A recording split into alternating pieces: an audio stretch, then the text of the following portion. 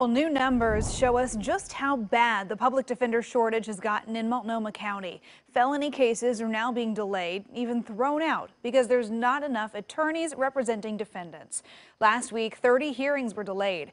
In the past year, almost 300 cases have been affected. Last month, 17 felony cases were dismissed. Over half are property crimes.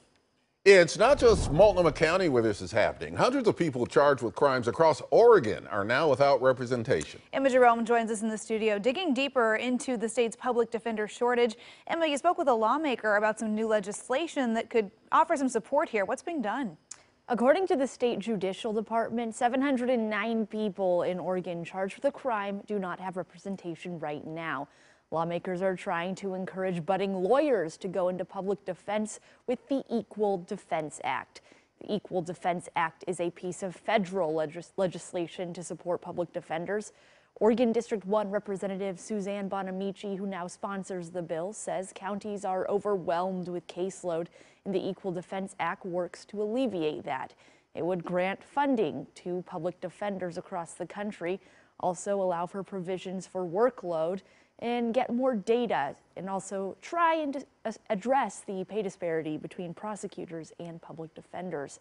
I asked her who loses when society doesn't have enough defense.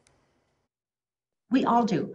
It's it's not uh, it's not fair to the uh, to the uh, defendant who's accused of a crime and has a constitutional right to a lawyer. It's not fair to the the, the victims of the crime if the trial can't go forward. It's not fair to the judicial system and it's not fair to the public in general.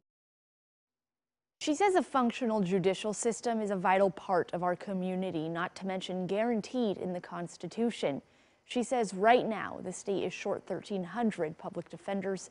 She's hoping to get this bill moving through Congress, hoping to make it bipartisan, and says she has already gotten support from both Democrats and Republicans. Back to you. All right, Emma, and you said we're down 1,300 defenders? Yep, public oh. defenders. Wow, that's amazing.